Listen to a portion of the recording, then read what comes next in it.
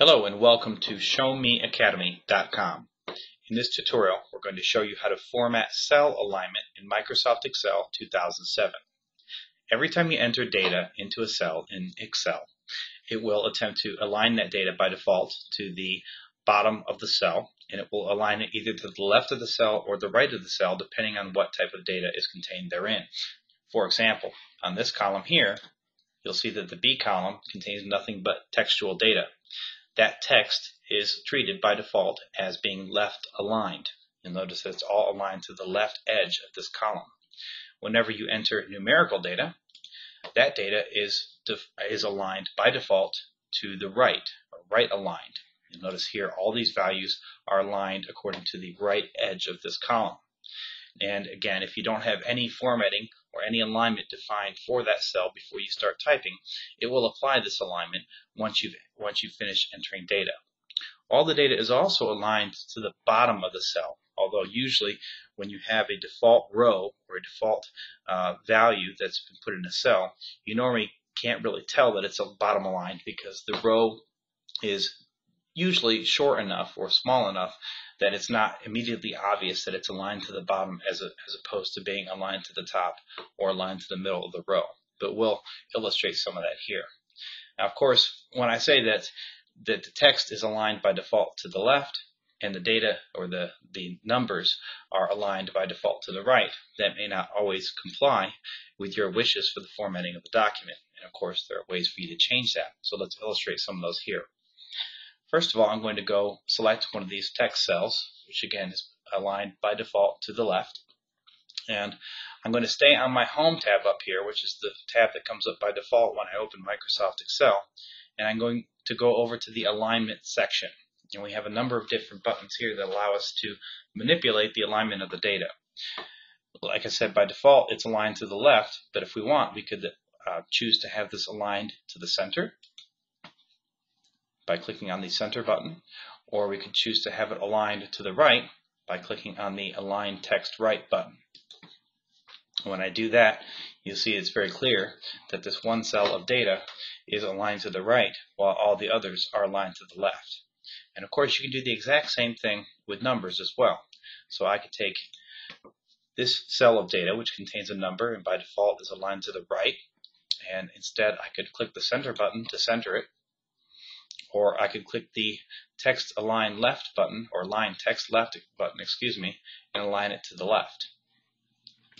And now you see we have some text that's aligned to the right and a number that's aligned to the left. Now aside from that, you can also decide sometimes that even though you don't want things necessarily aligned to the opposite side, maybe you want some spacing on certain values or indentation if you will. So what I'm going to do to illustrate that here is we'll select the same cell, which by default is aligned to the left. And now I'm going to go up to this Home tab under the Alignment section, and I'm going to click on the Increase Indent button. And when I do that, it doesn't right align the value, and it doesn't even center it. It just adds some trailing space in front of the value. So I can do this with, let's say, several values here and indent them. And now there's a, a, clear visual cue that for whatever reason these values here have been indented. Of course, if you want to remove that, you could take this and go to the decrease indent button. And I can do that, and it moves them back over to the left edge.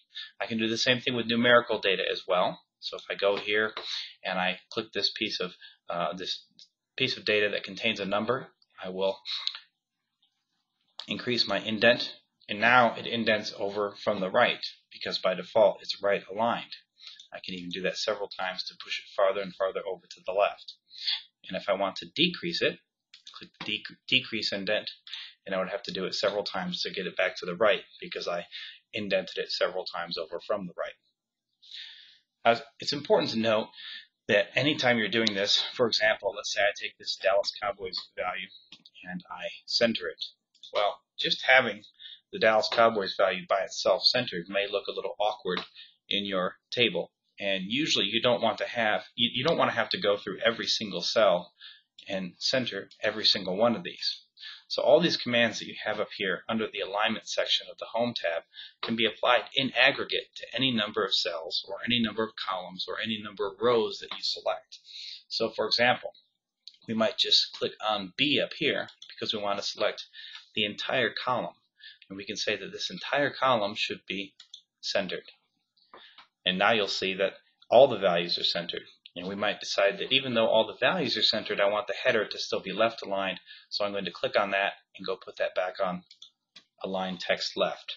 So now my headers are very cleanly aligned to the left across the top, but I might have decided that all of these team names should be centered in their cells. You can do the same thing with rows.